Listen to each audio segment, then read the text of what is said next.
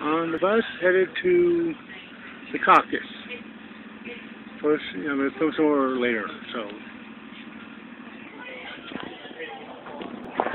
This is a picture, uh, video of the line in front of the hotel waiting to get into the caucus itself.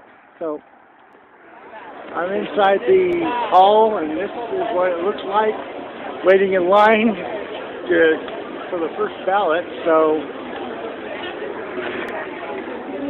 Okay, this is the Bernie Sanders side, and the Hillary side is over there.